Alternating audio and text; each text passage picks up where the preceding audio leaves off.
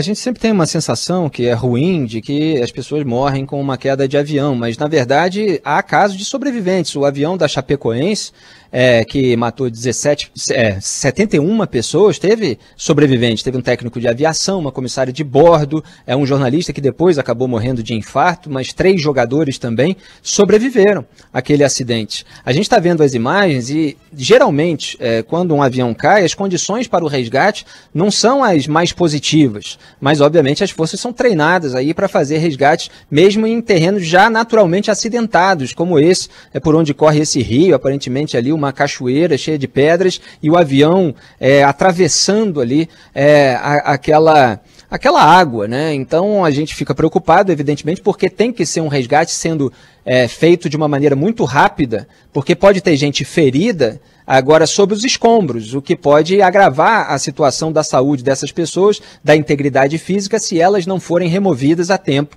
é, de serem recuperadas com todo o atendimento médico necessário. Então vamos torcer aqui para que aqueles que ainda não tenham sido resgatados, resgatados sejam, e a gente está vendo aí todo o trabalho com o uso de cordas, né, com todos os equipamentos, é, para que se consiga remover o que estiver em cima.